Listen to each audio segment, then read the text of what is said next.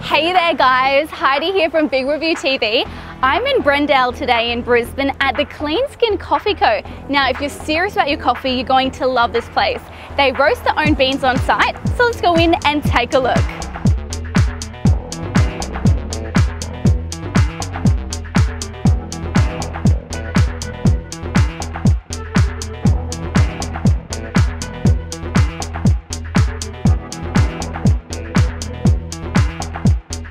Do you love coffee?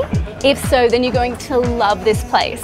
All I can smell uh, is coffee. And that's because right behind me, they roast their own beans on site every day.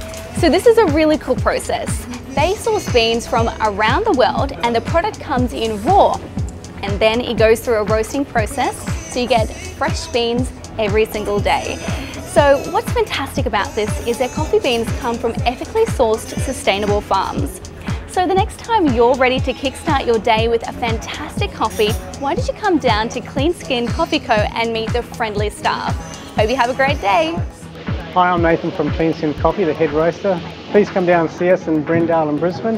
We can get us on our website, Facebook or Instagram.